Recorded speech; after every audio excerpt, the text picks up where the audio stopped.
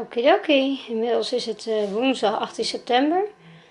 Ik ben weer uh, aan het trainen met de Zuiderzee Klassieker. Nou, niet met, voor de Zuiderzee Klassieker. Alleen nu iedere keer op uh, verschillende standen. Dus 5 kilometer op de zwaarste stand, 5 kilometer op een stuk lichtere stand, 5 kilometer ertussenin enzovoorts. dus dat is iets realistischer. Maar uh, Koosje is ondertussen lekker bezig. Meneer loopt met een stukje spaghetti te spelen.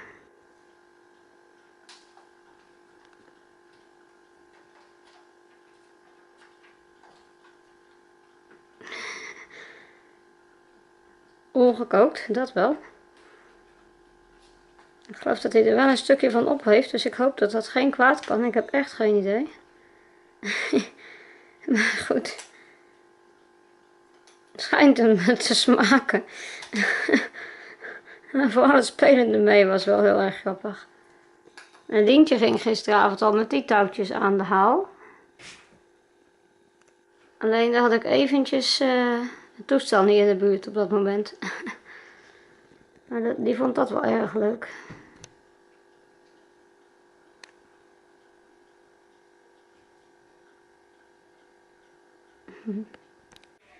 Het is me uiteindelijk in uh, exact 9 uur gelukt om het uh, rond te breien, als ik het goed zeg.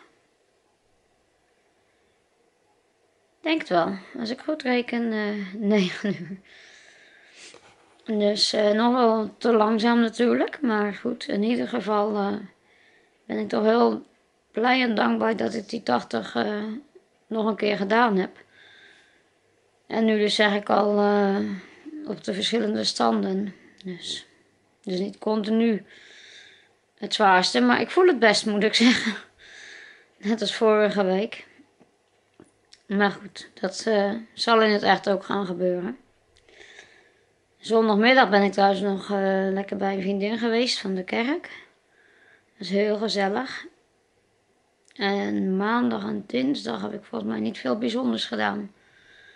Ja, maandagavond post gesorteerd, dinsdag bezorgd natuurlijk, dus gisteren. Maar ik geloof niet dat we verder nog echt uh, bijzondere dingen hebben gedaan.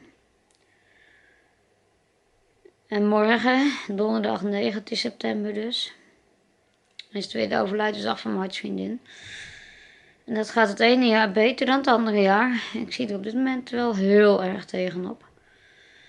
Maar goed, uh, mijn moeder komt gelukkig al bij tijds. En uh, we gaan gewoon dingen doen waar mijn vriendin van hield. Uh, bowlen en uh, Chinees eten en zo. Gewoon allemaal om, ja, hoe moet je dat zeggen? Om haar te eren klinkt ook niet echt helemaal jovel.